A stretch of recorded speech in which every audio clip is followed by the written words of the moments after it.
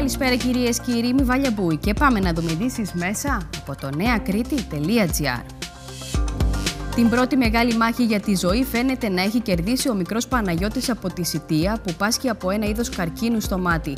Το μόλις ενός έτους μωρό υποβλήθηκε σε δύσκολη χειρουργική επέμβαση στη Λοζάνη της Ελβετίας η οποία και ήταν επιτυχής. Συγκινητική και η ανταπόκριση των κριτικών προς την οικογένεια που χρειάζεται χρήματα για να καλύψει το υπέρογκο ποσό των εξετάσεων που απαιτούνται. Ντρόουν, ψεκασμοί και αμφίβιο όχημα επιστρατεύτηκαν από κοινού στη μάχη για την καταπολέμηση των κουνουπιών στις εκβολές του Αλμυρού ποταμού στο Ηράκλειο. 5.500 εστίες αναπαραγωγής φέτος σε όλη την Κρήτη, με τους ειδικούς να κάνουν λόγο για την χειρότερη χρονιά των τελευταίων ετών.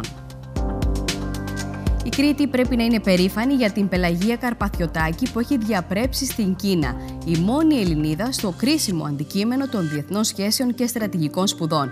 Η βασική ανασχόληση της Κρητικιά είναι η έρευνα στον περιβόητο νέο δρόμο του μεταξιού που επιδιώκει να δημιουργήσει η Κίνα, αλλάζοντας τον κόσμο όπως τον ξέραμε μέχρι και σήμερα. Για ειδήσεις από την Κρήτη, την Ελλάδα και τον κόσμο, μπείτε στο νεακρήτη.gr από το κινητό, το τάμπλετ και τον υπολογιστή σας.